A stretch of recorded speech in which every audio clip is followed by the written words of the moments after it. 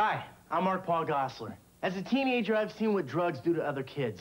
Not everyone takes it seriously, and that's why it's important for kids to participate in DARE, the Drug Abuse Resistance Education Program that's taught in schools across the country.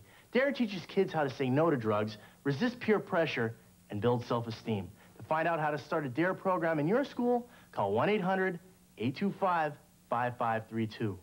Drugs are no laughing matter.